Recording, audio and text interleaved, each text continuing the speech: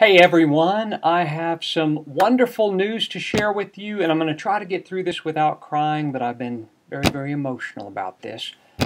Um, the retreat ministry is going to happen. They are talking about breaking ground in just a few weeks. Things really got moving here, and uh, so I just couldn't wait to share the news with you. You might remember it was uh, almost exactly two years ago that I shared with all of you my hope and dream of being able to provide a very unique and even customizable prayer retreat experience for individuals or married couples. And it's taken a long time, but it is now going to happen. Um, thanks to your generosity, in those two years, we raised about $70,000. So close to half of our goal. And we also went through four revisions of architectural plans, trying to figure out with that $70,000 what could we actually afford to do. And finally, uh, all of that came together.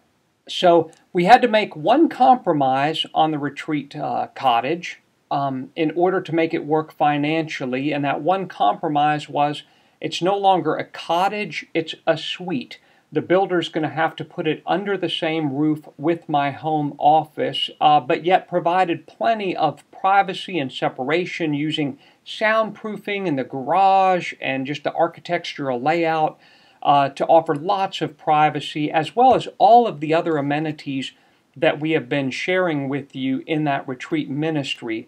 Amenities like it being fully handicap accessible, having a beautiful sitting area, uh, some really uh, romantic touches for if a married couple is on retreat there, like the two person jacuzzi tub and the fireplace. An amazing view, the best view from that ridge is going to be on the back patio and on that uh, uh, prayer overlook next to the uh, the retreat suite. So some beautiful, beautiful, exciting stuff. And in fact, I'm going to share with you uh, some diagrams of what we've come up with and what we're going to be breaking ground on soon. So uh, I'll switch screens in just a second and show that to you. But before I do that, I just want to say thank all of you so much for your prayers, for your words of encouragement, for your contributions and generosity. Like, I would have given up on this a long time ago if so many of you had not just kept reaching out to me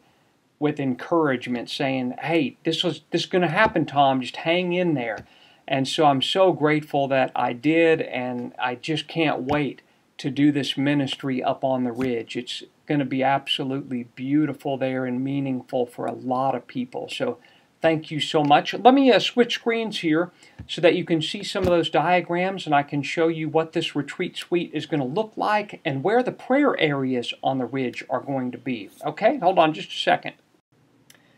Here is the overall footprint of the entire building. And we're going to zoom in and look specifically at the retreat suite and my uh, home office, which is buffered beautifully by this garage. But let's look at the retreat suite first. I'm going to go ahead and zoom in so it's a little easier to see. As people come up the ridge, they will park right here beside the retreat suite they'll be able to come in this front door. And one, once again, all of this will be handicap accessible. The retreat suite has its own private covered porch that has a gorgeous, gorgeous view of the valley and of the mountain across the valley. You'd come in the door and there's going to be a bistro table and chairs to be able to sit there and relax or to be able to have a meal. There'll be a queen size bed, of course a closet, um, there will be the fireplace that we talked about. That was one of the important amenities that we didn't want to uh, to sacrifice because fireplaces can be very cozy and, and quaint and even spiritual. So we've got a fireplace there. There'll be a love seat to just kind of sit down on and relax, or if the couple's there on a married retreat, there's room for both of them to sit. And then at the uh, north end of the retreat suite, we actually have uh, a kitchenette with uh, the microwave, toaster oven, invec- uh, induction stovetop, the refrigerator, sink, cabinets, and even a stackable washer and dryer so that if uh, we've got someone on retreat for a lengthier period of time, they'll be able to just take care of washing and drying their clothes there. And then, as we have uh, advertised and promoted, we will have a fully uh, accessible, handicap accessible bathroom here with a uh, shower with a seat in it, a sink, an ADA height uh, toilet, and a two-person jacuzzi massage tub, which will be super awesome for those couples that are there on retreat together. That will be super, super romantic.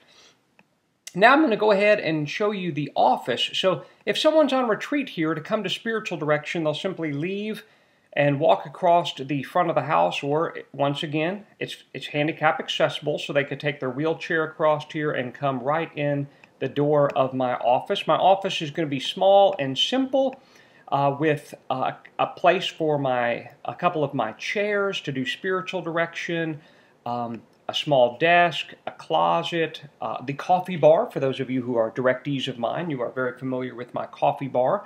So we'll have that there. And once again, an ADA accessible uh, bathroom.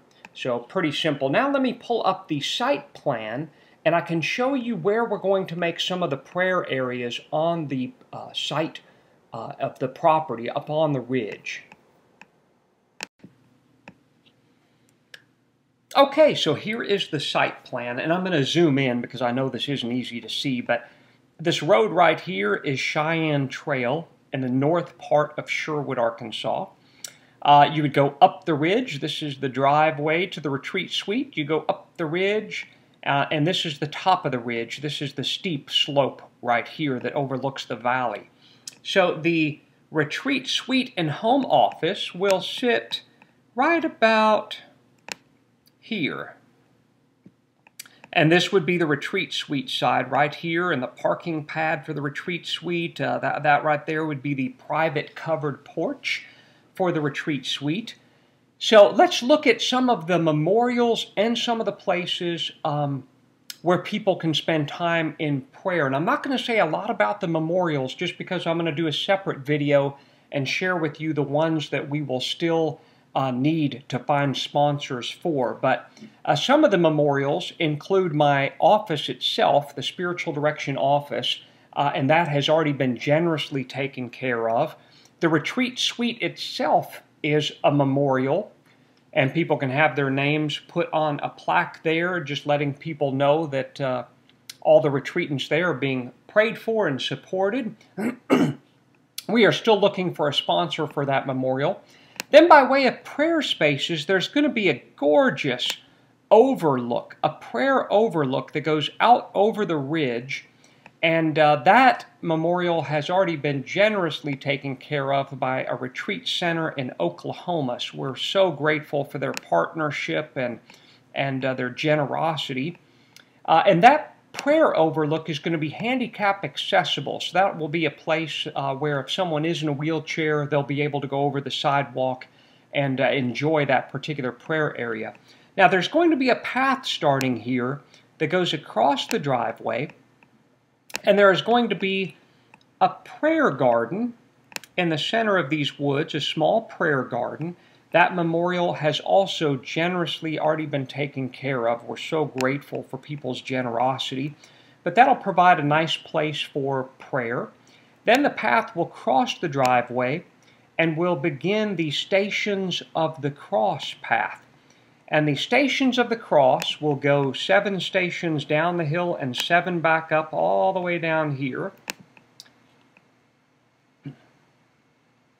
And at the base of that trail, which will weave its way through the woods, there is going to be another super cool place to pray. It's going to be the Divine Mercy Rock Garden. It's a very unique, one-of-a-kind, interactive prayer experience on God's mercy. I'm really excited about creating that. And then the path will go across the road for those who want to continue walking. And we'll start the actual, uh, what we've been calling the prayer path uh, which uh, is in the shape of the rosary, and it goes about an eighth of a mile through the woods, and that particular uh, memorial has also been generously taken care of. And on the prayer path, there are a couple of places to stop for prayer. One is going to be the Holy Family Grotto in the woods right here. And we're still looking for someone to do that memorial, to sponsor it. Then up here, there's going to be another place to stop for prayer, and it's going to be the St. Ignatius of Loyola examen bench. And uh, people who stop there will be led through uh, the examen prayer of St. Ignatius, a prayer that he did multiple times a day.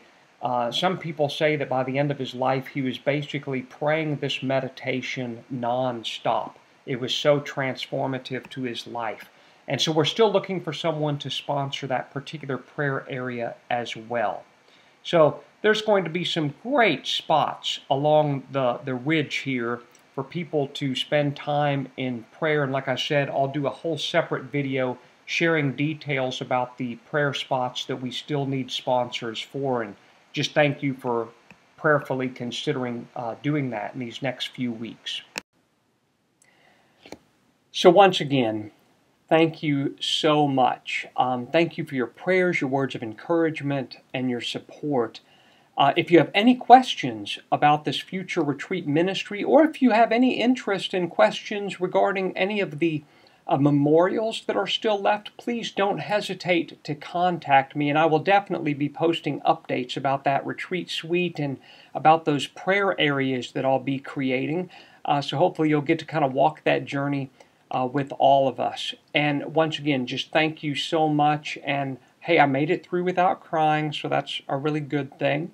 And I hope you have a blessed and awesome day.